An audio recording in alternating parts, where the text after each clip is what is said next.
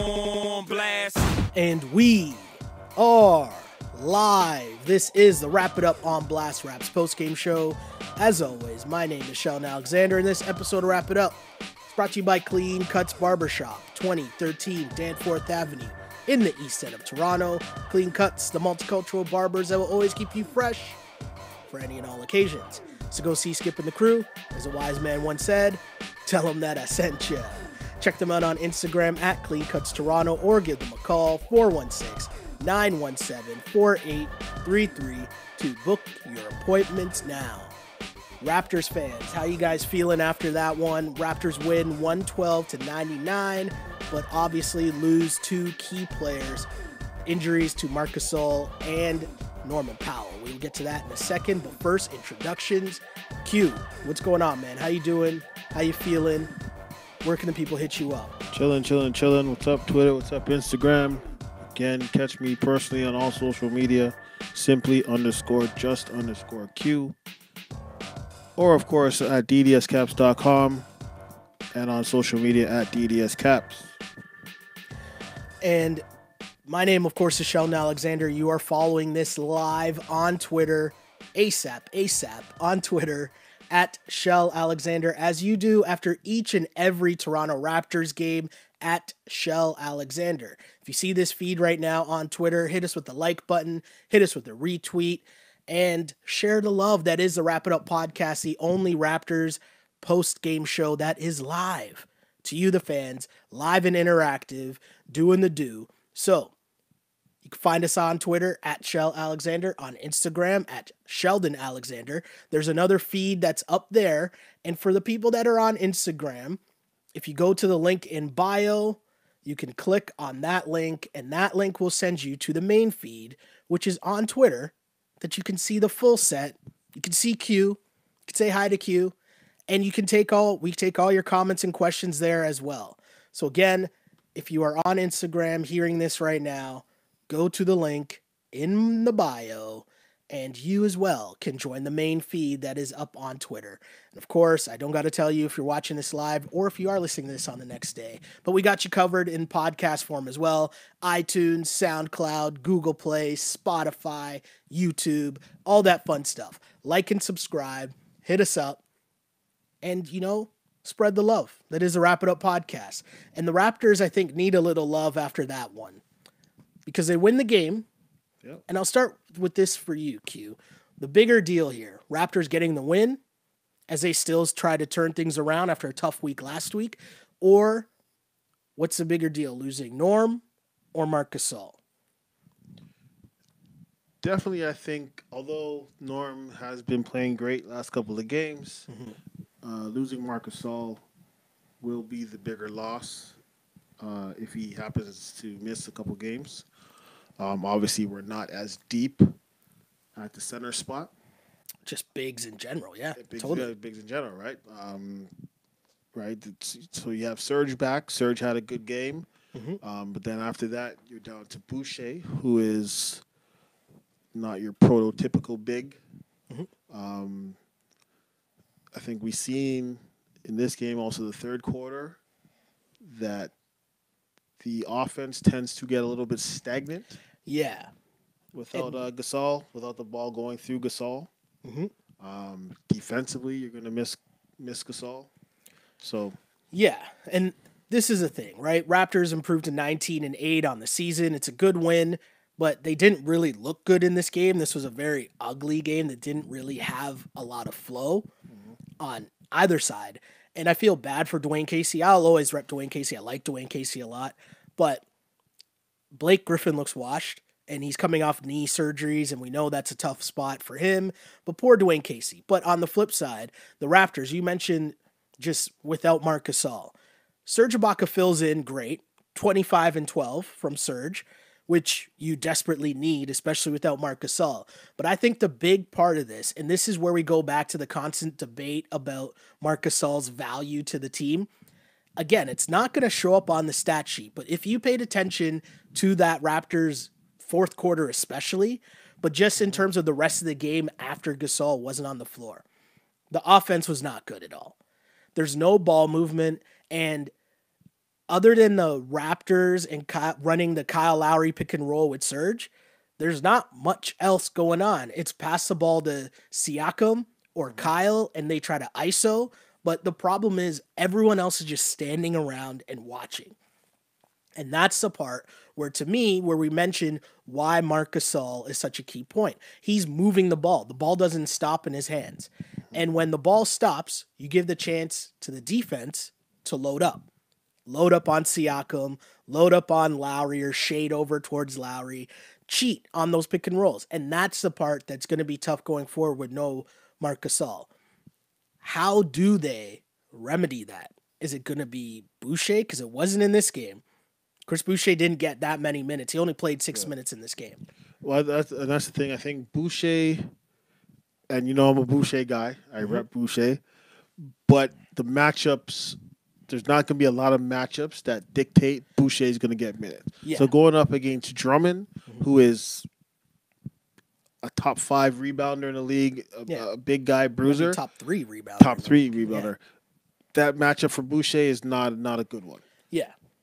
Yeah. right? So then you're left with just Serge or trying to go small, right? And it was interesting to see what Nick Nurse did early because he tried to bring in Boucher right away. And then it didn't really work, but he pulled the plug quickly and went to Rondae. Yeah. And I kind of saw exactly what was going down. I felt like the vibe was Rondae can handle the pick and roll in terms of being the guy who sets the screen and then rolls to the basket. Yeah. At this stage, Boucher's game isn't strong enough to do that consistently. Like roll hard to the basket and make a play. Do you know like he he might be able to finish at the rim, Yeah. but in terms of getting the ball at the top of the key, having a dribble, maybe having to go by a defender as well, his game's not really there yet. And it's not as smooth, definitely not as smooth as run watching the Kyle and Serge pick and roll. Right. But now when Serge is in the game, you could see they brought in Rondae because he can do that.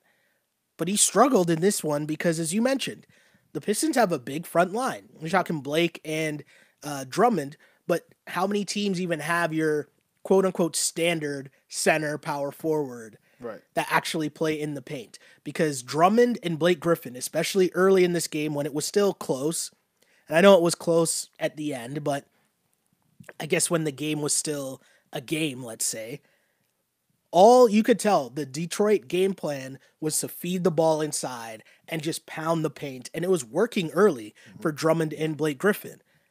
That was with Marc Gasol in the lineup. Right. My worry now is what happens going forward, and are other teams going to say, "Hey, our advantage against the Raps is just pounding the paint because Serge can't play the whole game, and I don't know if Boucher's there yet to be the the center or lone big holding down the floor for the extended thing. Boucher. minutes. Boucher is the guy you put in there to give you some energy, Mm-hmm. some quick energy. Yeah, But to say he's ready to be your everyday backup big, play 20, 25 minutes a game, I think that might be pushing it a little, depending on the team we're playing against. Yeah. Against Detroit, Boucher is, is no. If Marc Gasol doesn't get hurt, Hmm. Boucher probably doesn't come into this game, right? The matchup just doesn't dictate that. yeah. So, And we saw Boucher didn't really play much last game either. right. So that's very true. Um, I'm trying to also watch Twitter to see if any post game has come out yet. And so far, it seems like Nurse isn't sure about Gasol or Powell, the seriousness of those injuries. Um, and yeah, people are asking, but they don't know yet. So I'll try to keep an eye out as we continue on this podcast. So if there's any updates, I'll try to keep an eye on Twitter as we continue talking about what's going on in this Toronto Raptors after this Toronto Raptors win. But as of now, filling in for Marc Gasol is going to be tough. And I'm telling you guys, if you watch that fourth quarter, that's the thing. The the offense just stalls and there's no movement. It's a lot of Pascal going one on one, and and the biggest issue is the other four guys just standing and watching. But I think I think that's that's more uh, a I think it's a product of the pick and roll, um, the pick and roll offense that they're playing. So they run Kyle and Serge run the pick and roll, Yeah, and the other three guys are just spotting up for threes. And we already discussed yeah, over the last couple games, the Raptors aren't really a spot up shooting team, right? When they move the ball and swing the ball and make the extra pass, yeah, and get open shots, that's when those shots start to go in, right? Mm-hmm. If you're just standing there thinking you're gonna JJ Redick it, the Raptors don't have that player, right? Not yet. No, for right. sure. So that's why that's why the pick and roll. That's why I think the Raptors kind of struggle in the pick and roll. Yeah, I mean, really, it works in the sense that when Serge is coming off the bench and your starters aren't there, and now you need to run the offense Exactly. a certain way for to to you know kill some time, for lack of a better term, Well, I think it, as I opposed think to that being the focal point of your offense for exactly. an So it, it, it works better when you when you're playing in the second with the second string guys, where you have Rondae, Boucher, some because sometimes they play Boucher at the four with Serge at the 5 Mm-hmm. and those guys are just in there rebounding and hustle plays. They're, they're not spot up shooters either, right? yeah. so they but when you have uh, norm siakam og in there they're thinking that they're just going to wait there you know the ball's going to get the Serge and then he's going to drive and kick and they're just going to hit open doesn't really threes and it, that that's way, that's not their strength The tough part too is that Marcus Gasol was stringing together a couple really solid games, even offensively. Yep. And I talk about how much in, how much more important it is the stuff that doesn't show up on the box score. But what he was doing, he was doing that and showing up on the box score the last few games. So that's a tough sign. Another I think, tough I sign. think I think sorry just sorry to cut you off but I think this is almost bound to happen. Like we we came Yeah, we came but we into the season we saying that Marcus Gasol was going to be healthy the whole season. Exactly. With. Marc Gasol, we, we were saying Marc Gasol had a long summer. Mm-hmm. We were going to rest him, and Yeah. then Serge got hurt, and Marc Gasol has been playing some major minutes. And you know, eventually, especially a big guy like that, your body is going to wear down. So, it- right? It wasn't even like it was a play where like he got hit or he, you know what I mean, was jumping or landed weird. He just of the, the, the muscle just kind of popped on him, right? I think it's just probably the strained hamstring or whatever it is. Well, it was listed as a strain, a hamstring strain, and that's why he was out of the game. And you hope that it's a strain, obviously, because that would be, you know, right. obviously way better than it being a tear, which you don't want to hear because that means you're out for an extended period of time. But either way, with Marcus Gasol, you could tell this is something that they're not. You're not going to rush him back. Definitely not. You're not going to play no- him next game. There's, no, reason need to. Why do that? You know that he, his value is way more important down the stretch, especially if you're trying to make another run. I mean, there's some people who might be thinking his value is in the trade market, Yeah. and either way, that doesn't help him being hurt. So either way, you need Marc Gasol to be healthy. Whichever way Yeah. this season plays out, whether you're going for the playoffs or he's uh, a factor at the trade deadline, either way, he's more valuable to you healthy. So you do not rush Marc Gasol back. I definitely don't. If if it happens to just be a pulled muscle or, or strain, I definitely don't think you see Gasol back any sooner than Christmas Day. Yeah, no, I could see that. I could definitely see that. Um, I don't even think he'll be back by then. Just the way that it looked. I mean, he might want to just give it a go on Christmas Day just Yeah. because it's Christmas Day and that's kind of a big deal, I guess. But grand scheme of things, I don't know. Um, the other part of this is Norman Powell also went down. Right. We mentioned Gasol was piecing together a couple good games in a row. Norman Powell in the starting lineup was doing work. No doubt about it. My guy was going for 20 points a night over his last four starts, 18 points per game over his last nine. And we're asking for consistency from Norman Powell. And the thing that was super weird for me, mm-hmm. the way that this game started, was OG Anunoby putting in work. Okay. Right. OG had had like 17 in the first half. Mm-hmm. And I thought, and Norm was missing shots. Norm started, I want to say, like one of five. And I thought to myself, I'm like, wait, do Norm and OG ever play great in the same game? Because it always seemed that while Norm was having his good run, OG's numbers were down. And it's not like their minutes are dependent upon each other. They both get the same minutes every game. basically, so it's just weird to me that Norm was like, ah, okay, of course Norm's going to have a bad game now. And then he gets hurt. And it doesn't look good because he also missed a lot of time last year with a shoulder injury. And so to see him go down, I'm not sure if it's the same shoulder as last year. Right. Have I'm not sure on that. Got to double check that for sure.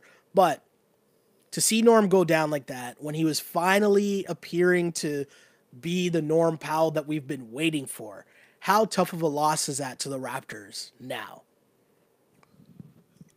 I mean, I guess that's I. I mean, now obviously, right, right, right now with with Fred out already, right, the kind of the, the injury problems we've had. Yeah. Uh, obviously, it, it hurts. I guess, especially when you have you know Indiana, Boston, some of the, the better teams coming up. Um, obviously, we know we don't know how serious um, the injury is, whether it's just a bruise or whether something was dislocated. I don't know. And don't worry, like- people, I'm still scouring Twitter trying to get updates. Yeah. But yeah, Norman Powell, he was finally giving the Raptors consistent scoring. And to see him go down like that, I don't because what do you what do you think of this? How badly do you think the, this will hurt the Raptors now that Norman Powell's out? Um, Because I got a thought on it, and I like th- th- that's the reason I said Gasol is more of a a, a detriment. Him being Yeah. out is more of a detriment because you have guys, as we see when Kyle was out, who can who have shown that they can come into play and play. Yeah. Whether it's Rondae, whether it's Terrence Davis. Um, I read a report today that um, Fred might be back on the weekend. Yeah. Obviously, it's kind of a wait and see. But if Fred if Fred's back, obviously he gets most of those minutes yep, right? So I, I I think there's it gives just like when Lowry was out, it gives uh, TD three and the rest, um, Patrick McCaw, it gives them more more time, yeah. gives them a chance to to kind of get their game into a groove, right? So again, it's early in the season, so I think. The, some of the, the injury uh, problems that the Raptors have had, it's good that it's happening early in the season. Yeah. Um, early reports are saying that Norm is in a sling after the game, which obviously is not a good sign if you're the Toronto Raptors. Um, but it also seemed kind of the way that he was holding his shoulder and the way that he was going off, it didn't look good. It looked like it was dislocated. Yeah. Right? Like that that would be the assumption to make. Um, not a good look at all for the Toronto Raptors. But the one thing I will say, despite how great Norm was finally playing consistently, the biggest thing you're missing is scoring. Right? Like that basically was the was what Norm was bringing to the table. And I think you can make up that scoring with other guys Right. Exactly. and it's not it's not as difficult to make up you know ball movement ball creating creating plays on offense you know And so hopefully it's a know- huge blow Yeah, of course, it's a of huge course. blow But hopefully, you know, it, it, it like you said, you've never seen Norm and OG kind of have have good good games that coincide with each other. So maybe this was the start of of OG's run. Yeah it was very rare it was very rare because i know someone's probably scouring box scores right now Yeah. to be like they both had 10 points in this game and what i mean is i don't know if the how many times i've seen them both go for like either high 15 like high teens teens, yeah. or 20s in the same game. That's kind of more so what I'm talking about. But regardless, huge blows to the Toronto Raptors, but it's a thing that we talked about from the onset of the season. You have to deal with injuries and despite whatever you thought of this team coming into the year mm-hmm. and how they would finish, where they would sit in the standings, the reality was if you're going high end, meaning you thought they were going to be top 3, top 2, that's based on complete health Yeah. which is a tough thing for any NBA team. But in a team like this that's built more so with the sum of the parts as opposed to having the superstar, Right. injuries are a huge blow. And we saw the Raptors go nine and two early on without Kyle and Serge. If you're in a situation now where you're gonna miss, I mean, Freddie's been out and they've still been all right. But if you're talking about long term now without Norm and without Marc Gasol, it's just a really another opportunity to show the depth of this organization. I assume uh, what's the young buck in uh, the D League, Dewan Hernandez. Juan Hernandez. Yep. I'm assuming he'll probably get a call up, probably get a look at some point, but it's another chance to show off the organizational depth because again, I know I get the slander for saying I thought they're going to finish 5 to 8, but to me, I guess my bigger point was this season is about development. This season is about seeing what you have Right. in terms of the entire organization, seeing what pieces you have, seeing who's an asset and who isn't. And that's more important to me seeing now. You're going to see what Chris Boucher is this season. Definitely. You're going to see what Terrence Davis is this season, and that's because of the injuries. In terms of Kyle Lowry, Serge, and and Marc Gasol, to me, this is all about asset management. Because breaking news, I don't think the Raps are winning a championship this year, but you have assets that could be coming off your books at the end of the year. Do you just let them walk for nothing? We're gonna find out. This is gonna be a super interesting, like rest of the season for the Toronto Raptors because they have a good team, they have a lot of depth, But now, as you retool your championship team, you're going to get to see who's legit and who's not. And I appreciate that. I think that's a very interesting thing to pay attention to for the rest of the year. And I think, and I think again, obviously you don't wish injuries on anybody, but again, this all happening at the beginning of the season Mm-hmm. allows you to evaluate your assets. Yeah. Going into the new year and the sure. trade deadline, right? So when Kyle went out, we got to see that okay, if Fred is on the court and healthy, Yeah. he can actually run this team and, and be your starting point guard, Mm-hmm. right? We get to see that Norm is actually coming into his game, right? Now we'll get to see Boucher, Dewan Hernandez, uh, Serge. We'll get Mm-hmm. Yeah. to see how how valuable Serge is, Yeah. right? If if you know if you're bringing back one of two big men, we'll we'll get to see whether Mm-hmm. Serge is is that guy we can go forward with, or whether you know we need to search for something else I totally at that agree. position position, right? So all of this happening now. I mean, obviously you'd love you'd love to be 100% healthy all year and you know win 50 games and go into the playoffs strong. You know, obviously that's not the reality. Look around the league. Look where Golden State is, right? Um, but having getting getting this opportunity, I think again shows the, or, the organizational depth, but also what you have and what you need going forward.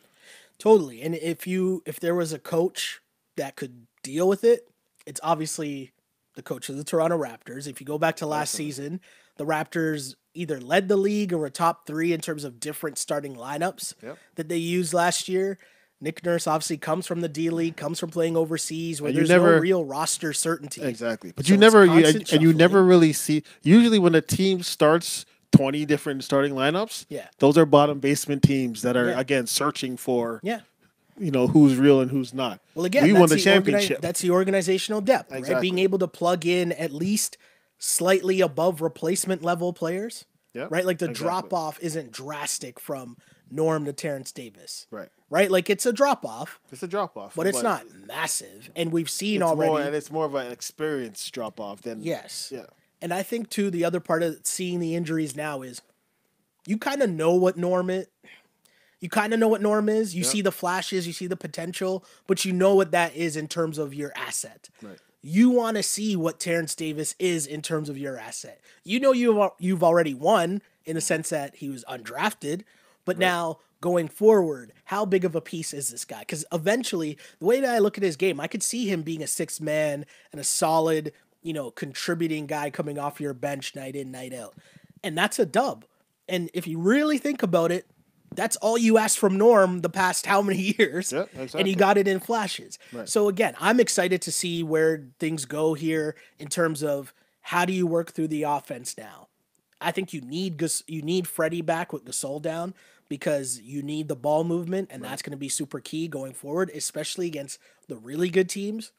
Because I think the Pistons are not a good team as currently constituted, and in this game, if they could just make some shots, they might have come back and like won this game, but they're just not that good. Yeah. If I'm keeping it a buck. Well, like just like somebody said, like D Rose is, is probably their best player, and not to slander D Rose or anything like that. That's a bad thing, but It's not obviously. D Rose is not what he was when he was winning MVPs, right? Yeah, not not really a good look. Uh, there's lots of comments filtering in, so of course let's get to some comments because this is also a part of why we are here. To start the pod, I asked you guys what you think of who is out of the lineup. What is a bigger, or actually, I guess, what's a bigger storyline? Is it the fact that the Raptors won the game, or the bigger loss being Fred or uh, Marc Gasol. So we got tons of feedback filtering in, uh, people sending their, you know, well wishes or good wishes. Linda checks in and says, uh, both hope they're not injured too bad. Uh, I still haven't seen any update on the socials yet, but I will check for sure. Uh, let's see. Someone says, Sage says, what do you think about this? The Raptors need to sign Jamal Crawford ASAP in case Norm is out four to eight weeks. I see you thinking about it. I don't think they need Jamal Crawford. if I'm answering the question, I don't think they need Jamal Crawford. I just think let Terrence Davis sink or swim. Let some of your young bucks sink or swim. I still am waiting for them to pull the chip on uh, what's my guy in the D League right now? Justin Anderson. Justin Anderson, yeah. right? So like I know he's simmering right now in the D League, cooking like he's an NBA level player. You're Yeah. just waiting to see, you know, you're trying to see all the other seasonings on the Well, side. they don't. They don't. sense, so right? Justin Anderson is actually not on our roster, Yeah. right? So in order to bring him up, somebody's got to go. for sure, but that's fine. Well, we all know who that someone is, That's fine. right? That's But fine. yeah, and, and again, we're, you're fine with it. It's just, There's a lot of things going on, but of course, I don't think you bring in you bring in Jamal again. This all comes back to do you have championship aspirations or not? Yeah. And I guess I'm coming from that picture where I don't have championship aspirations. so Yeah, if you were like the Lakers and like Rondo's out and Caruso's out, yes, go get Jamal Crawford because you need someone who you can plug and play and Yeah. play in the playoffs for you. That's not. Yeah, I don't think it's somebody you necessarily add in December. Mhm. That's a February, March. We're going down the stretch. We need this. We couldn't get it in the tra- at the trade deadline, or we didn't want to give up any of our core, and we want to plug him in for a playoff run. That's not a. It's not a December move, Yeah. right? Again, the Raptors. It is the Eastern Conference, and although better, we're not. You know, tied for eighth, struggling, hoping to keep that last playoff spot. We're still, I believe, firmly in playoff position. Mhm. Now, obviously, we got some tough games coming up. Indiana back to back with Boston. A lot can change, Yep. and then my answer will change. But at this point, right now, you know, let Jamal Crawford chill. Uh, K2's Garnett checks in on Instagram and says, Your boy Malcolm Miller gonna cook in the next couple of games. LOL. Uh, I mean, that's another guy who, who you know, here's an opportunity for him Mhm. to either show that he belongs yeah. and and can be that depth guy when needed. Can call upon him, or like you said, he might be the guy to go to bring and give Justin Anderson that chance. Yeah. Totally. Uh, Adrian checks in on Instagram and says, I want to see Freddie and Matt Thomas back on. Matt Thomas has almost been a forgotten kind of guy because he's been out Yeah. for a while now with the broken finger, I think it is. Yeah. But it's been a while since we've seen Matt Thomas. Of course, there's minutes available now. So Definitely. he better hope he's back soon, right? Because this is a good a good chance for him to get back into the lineup. I did read somewhere today that Fred is practicing, you Yeah. know, with contact full full basketball activities Yeah, and should be back by the weekend. But again, it's yeah. I saw Nurse said uh, their last practice, he stayed after and was getting in some work with the young guys and seemed to have a lot uh, uh, more uh, pep in his step. Let's say I'm paraphrasing, but that's essentially what he was saying.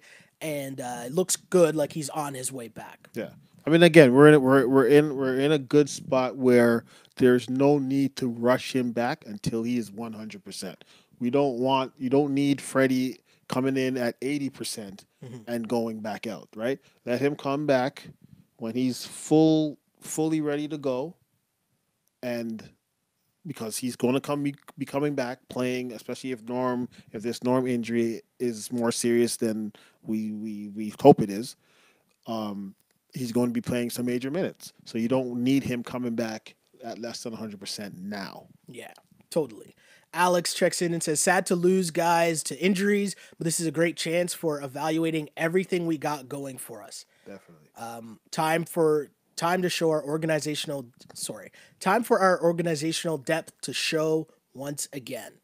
Um, another comment just says Hustle Squad is back on, Yeah, right? Because those minutes are, are coming right back. exactly. And that's how the NBA season works. You got to stay ready. If you're a young guy like Boucher, I know it's been weird because your minutes got taken away once Serge came back, but we talked about it at the time, right? When Serge did come back, we're like, well, we know the Gasol either rest slash, you know, It get, being banged up. sometime, It was gonna happen. It was gonna happen. Especially at this stage of his career, you know that was going to be uh, the way that things would go on for Marcus Gasol. And again, again, it, again with Boucher, I think uh, Nurse plays him when the matchup dictates we can play Boucher. Mhm. But now with Gasol out, just like when Serge was out, Boucher is it has to be put in the game. Yeah, And if he can show that he can be effective in the different matchups that the NBA on a day to day basis will, will will present you with, then it gives Nick the opportunity that even when Gasol comes back, he doesn't need to play 32, 35 minutes a game. So an interesting point brought up here on in, on uh, Twitter. Raptor Homer says Rondae Hollis Jefferson and Chris Boucher should play together so that the team rebounding won't be compromised. Yeah, yeah. I, I mean, I, I It's an don't. interesting lineup when you because if you put them with Siakam, Right. right, you could do that, and I think Siakam has to know now that he's got to be more of a paint presence without Gasol. Right. kind of got to have that mentality, stay in and rebound more. But also, team rebounding comes in to be a really big factor at this mm-hmm. point. And it's not even that Marc Gasol's rebounding numbers are crazy. It's just being a presence and boxing out. Because a lot of things people don't really take in or pay attention to is he might not be getting the rebound, but he's taking out the other team's big to allow someone else to get a rebound, right? Does that make sense? Definitely. Um, speaking of though, I think Linda's trying to call me out here. Says funny how you rep about how you don't look at Marc's stats, but don't talk about Kyle who does so much more. I think this is because Kyle Lowry tonight. I don't know if I mentioned it. Have I mentioned Kyle Lowry had a triple double tonight? Kyle Lowry, 20 points, 10 rebounds, 10 assists for a triple double um, by Mr. Kyle Lowry. And my thing with Kyle Lowry, because again, his shooting numbers are what I really pay attention to a lot with Kyle Lowry, because everything else is just about pace. And he did a good job in this game in, in setting the, the dictating the pace and the energy that the Raptors played with in this game. So I guess like the triple double, cool. Like that's a dope stat but he shot five for 17, which isn't really that good. But also, he has to shoot, almost like we were talking about with Fred and Pascal when the injuries went down. Right. You just need to get shots up because you need to get to the 20s. So I could see that's what happened with Kyle. What I really want to give Kyle Lowry credit for, and this is going to sound weird, so stick with me for a second. The refs weren't good in this game, right? The refs were bad. And if you know me, you follow this podcast, you know I am never going to blame a game on the refs because I think the refs are trash on both sides.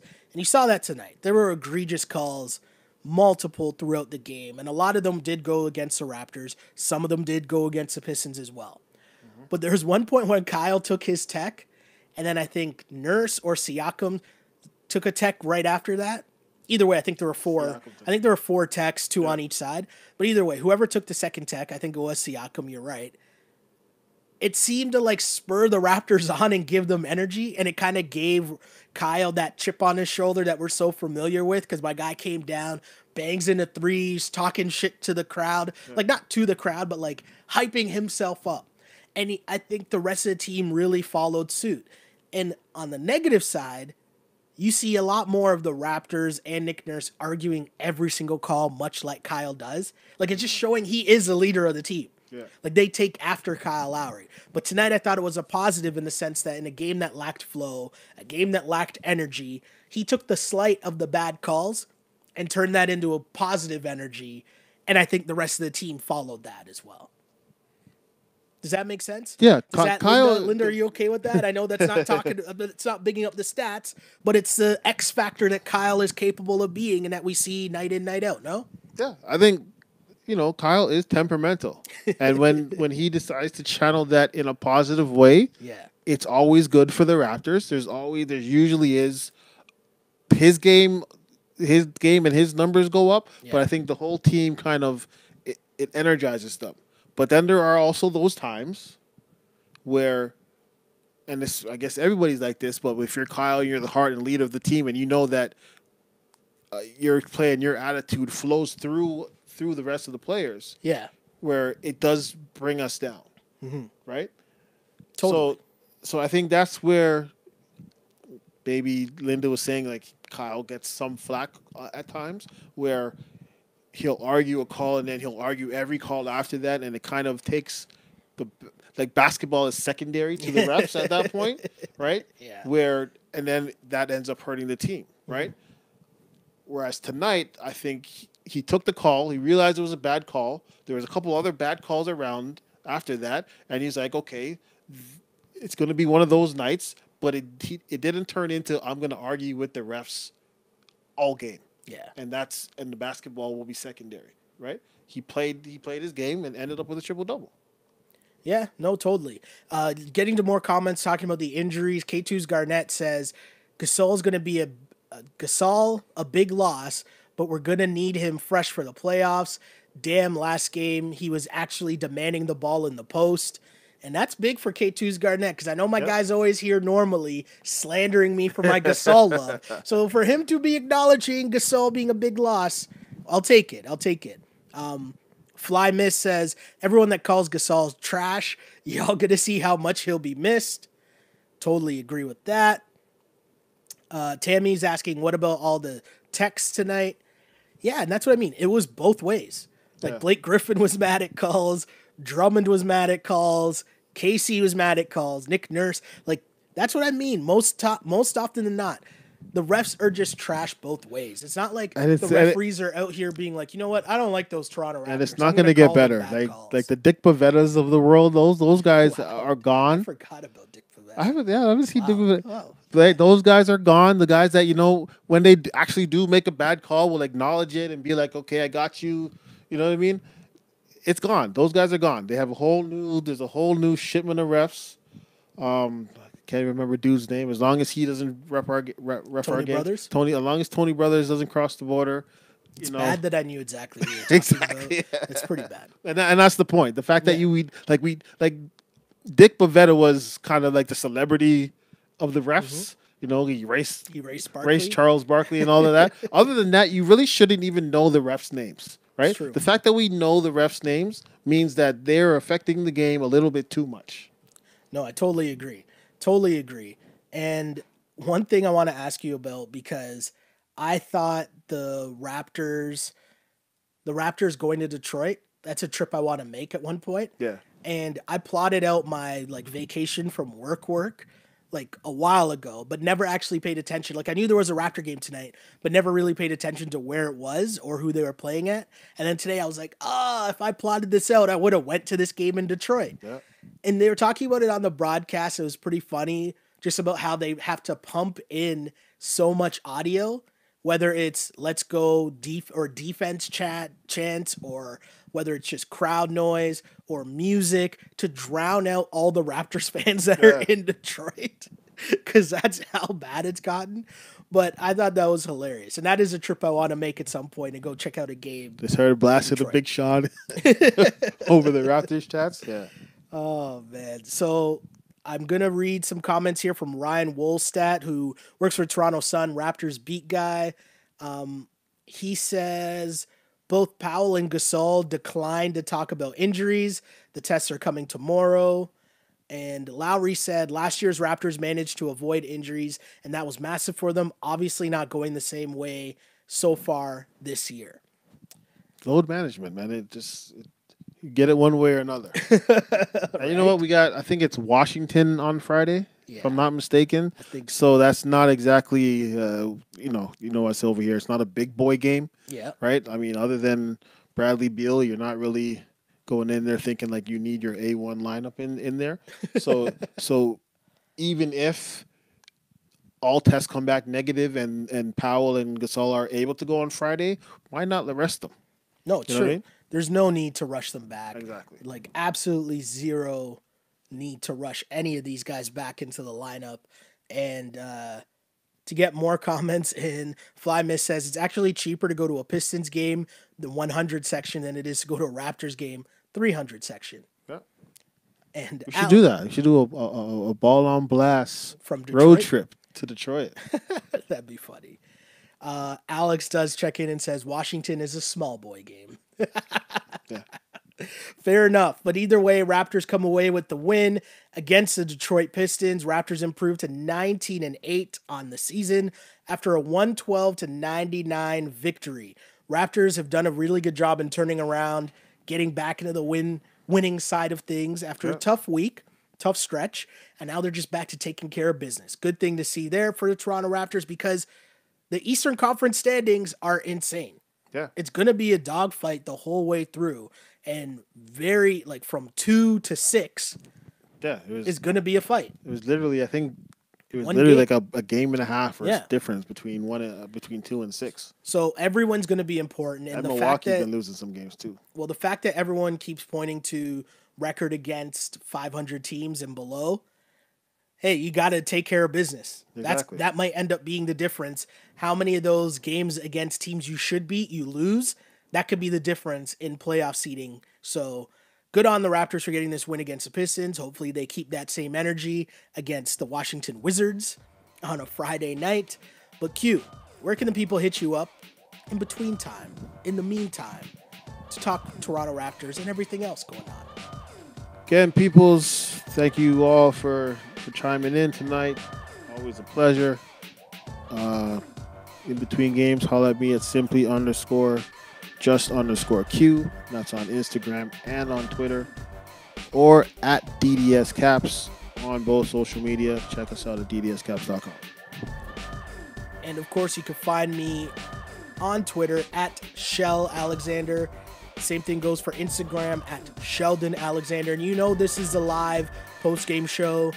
We're here for each and every Toronto Raptors game, and even during the holidays. I know last year we took a couple days off just because it was a holiday, so still trying to sort out some last minute scheduling things, but just act as if we'll be here for each and every Toronto Raptors game over the holidays and beyond because this is your Raptors post game show where we do try and take your questions. We don't we don't try. We do take your questions. I guess we try to take all of your questions, but it's not really possible to do that. But we try to do as many as possible three hour show. right? But it just shows how big this has grown because the feedback from you guys have been great. Really appreciate you guys tuning in, whether you're doing it live or taking in the podcast on iTunes, SoundCloud, Google Play, Spotify, YouTube, liking and subscribing there, telling your friends, sharing. It's it's a movement. The Rap It Up podcast is doing big things, and I just want to always say thank you because I appreciate you guys because we wouldn't be doing this without you guys. So I really appreciate it for sure. And we will be back for on Friday night for the game against the Wizards. Hopefully, we'll get some injury news. I mean, we will have injury news by then. And right now, it just doesn't look good. I would assume that neither of those guys will play the next game, but we'll find out for sure.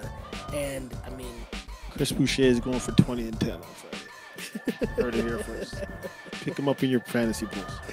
Yo, I mean, I, I hope you're right. I hope you're right. But again, this is opportunity. This is opportunity. To me, this is a about. good thing because this is about opportunity. You're trying, as you retool your championship team, you need to see who's with you, who you're going to ride with, and who you're not. So this is just about opportunity. And hopefully you guys enjoyed this opportunity to chop it up with us after every Raptor game because I used to pray for times like this to rhyme like this.